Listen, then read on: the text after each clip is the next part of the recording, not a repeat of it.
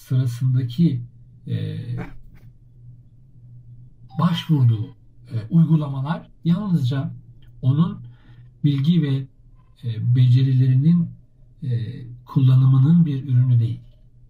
Devreye sezginin, sağduyunun da girmesi gerekiyor. Yani eldeki e, bilgi ve beceriler tek başına her zaman yeterli olmayabilir.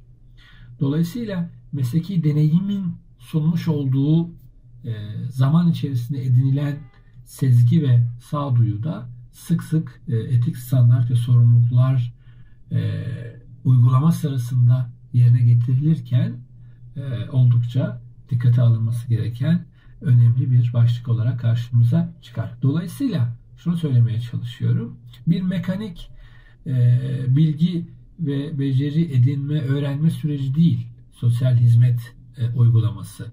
Bir sanatsal